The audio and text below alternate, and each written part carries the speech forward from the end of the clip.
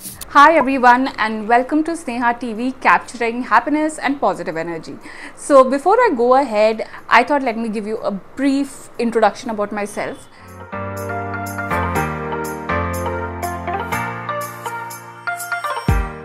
So first of all, for those who are new to my channel, very warm welcome to you and also those who have been around.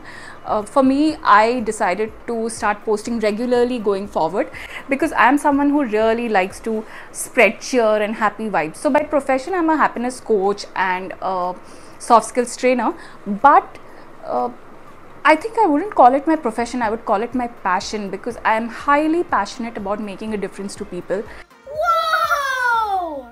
uh, life is after all going to be more exciting if you have lots of fun. So i'm going to be posting a lot of fun stuff as well on this channel. So i'm really excited for this ride.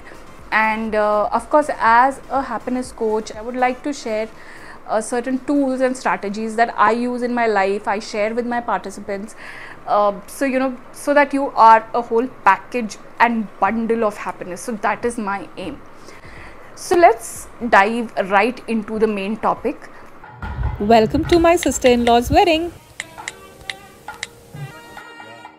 And I was so surprised to see the way she was so calm because I think most of us during our weddings become bridezillas, right? So uh, for me, this was very inspiring to see that this girl was taking care of everything and at the same time she was so calm it was so nice to see all of this. So I really thought this was something inspiring and I thought I'd take you through that journey. So let's go. So my mom, dad, my sister and myself started discussing the wedding shortly after it happened. And we realized right away that all of us had a great time. And the only reason was everything was more than perfect during the wedding. Let me first introduce you to the bride. Hi. So that is my sister-in-law Sri Devi for you, my husband's younger sister. Now this girl taught me a lot of life lessons in that short period of time. However, I decided to share with you three lessons that I learned from her and I think every bride-to-be must watch this video. I guarantee you, you will definitely feel inspired to ensure that your wedding is also fun for you. Okay, so the first thing that I saw and I learned from her is being present in the moment. Now, whatever she had done until the day of the wedding, she put her best in arranging for everything the decor, inviting the guests, the food, and all of that. Uh, of course, even her husband played a huge role in it, I'm sure. But I am talking about her because I saw her personally uh, when she was doing all of this. So, yeah, coming back to being present you know sometimes what happens is when we plan something even on the day of the event our mind is running about stuff that we have planned for and we are busy assessing whether everything is going okay or no. But what i saw and i learned from her was being in the present moment really really is an awesome way to be during your main day.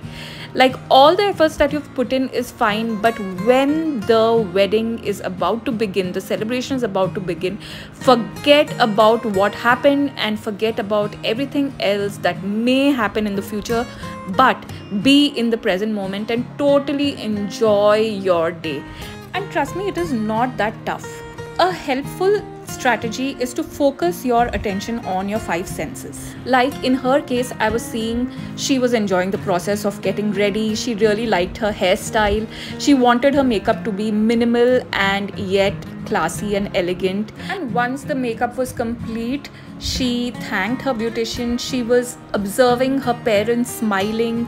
She was really enjoying the food that was being served at the wedding.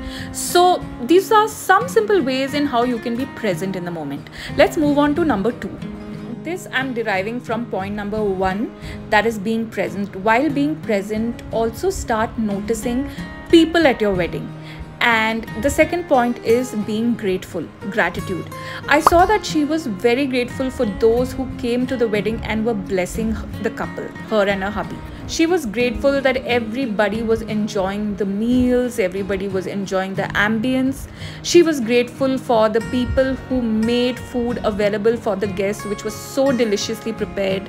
She was grateful to her friends, to her family, to her relatives to the pujaris who were performing the rituals for her, to the photographers, to everything. And trust me, for those who are watching, gratitude is a very, very powerful tool one can use in their life. So, the second point would be to be grateful.